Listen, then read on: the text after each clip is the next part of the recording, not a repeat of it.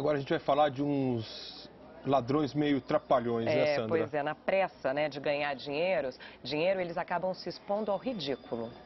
Um rapaz preso na chaminé. São fotos de uma tentativa frustrada de roubo a uma padaria em Bauru. Os bombeiros precisaram de guindaste para o resgate. A hora que puxaram o cara no guindaste e as perninhas dele balançando, você olhava para a rua, todo mundo rolando de dar risada. Uma coisa muito cômica. Gafes como essa não são raras no mundo do crime. Esta dupla só foi presa porque exagerou no barulho ao entrar na escola. Um vizinho ligou para a polícia, que recuperou um rádio portátil, um monitor de computador e cinco torneiras. Deslocamos rapidamente para o local, é, pulamos a grade lá da escola e encontramos dois dentro de uma sala escondidos. Um vacilo também levou este homem para a cadeia. Ele invadiu uma chácara para roubar. Na fuga, perdeu o documento de identidade.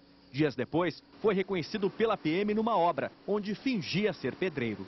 Fui até o, o indivíduo e perguntei o nome dele. E ele falou o mesmo nome do RG que estava conosco da carteira que ele deixou cair no local da tentativa de roubo. Um homem levou um choque e sofreu queimaduras graves num poste de energia de Salvador. Segundo testemunhas, ele queria roubar os fios e ainda deu trabalho para os bombeiros. As falhas cometidas pelos criminosos se convertem em informações importantes para a investigação da polícia. Na maioria das vezes, os bandidos acabam se denunciando por causa da própria atrapalhada. Depois de assaltar um posto de combustíveis, o criminoso esqueceu a carteira com vários documentos no local. Segundo a polícia, a prisão do suspeito é questão de horas. E um bilhete escrito à mão é a principal pista dos investigadores para prender o homem que assaltou lojas em Botucatu. Aí eu falei assim, não, você tá brincando comigo.